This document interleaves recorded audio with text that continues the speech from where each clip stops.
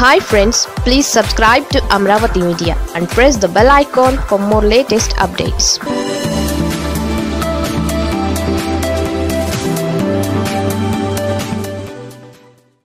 Badvel భయం ఎవరికి?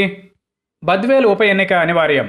Sitting YCP MLA Venkata Subbaiah మరణంతో ఆరు నెలల్లో బద్వేలు నియోజకవర్గానికి ఉప ఎన్నిక జరగాల్సి ఉంది. వైసీపీ అధినేత జగన్ ఇప్పటికే బద్వేల్ ఉప ఎన్నికల్లో వెంకట సుబ్బయ్య కుటుంబ సభ్యులకే టికెట్ కేటాయించే అవకాశాలున్నాయి.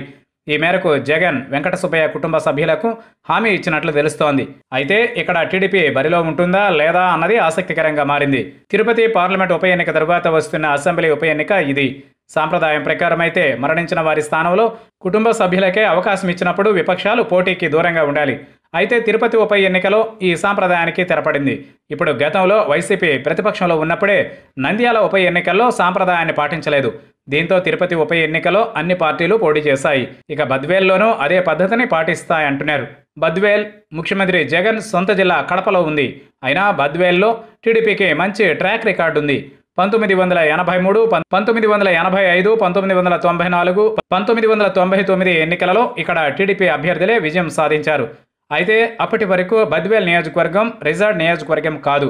ఎస్సీ రిజర్వ్ నియోజకవర్గం అయిన తరువాత బద్వేల్లో టీడీపీ ఇంతవరకు విజయం సాధించలేదు. ఇక్కడ కాంగ్రెస్ వైసీపీలే గెలుస్తూ వస్తున్నాయి. మొన్న మున్సిపల్ ఎన్నికల్లోనూ కడప జిల్లా మైదుకూరులో వైసీపీకి టీడీపీ గట్టి పోటీ ఇచ్చింది. దీంతో చంద్రబాబు బద్వేల్ నియోజకవర్గంలో మరోసారి తాము సత్తా చాటాలని భావిస్తున్నారు. తిరుపతి ఉప ఎన్నిక అయిన తర్వాత కడప జిల్లా నేతలతో ఆయన ప్రత్యేకంగా సమావేశమై బద్వేలపై ఎవరు పోటీ చేయాలన్న దానిపై నిర్ణయం తీసుకున్నట్లు తెలిసింది. దీనిపై అభ్యర్థి కోసం సర్వే చేయించాలని కూడా చంద్రబాబు నిర్ణయించినట్లు సమాచారం. మొత్తం మీద చంద్రబాబు తిరుపతి ఉప ఎన్నిక తర్వాత బద్వేల్ ఉప ఎన్నికకు పార్టీని సిద్ధం చేస్తున్నారు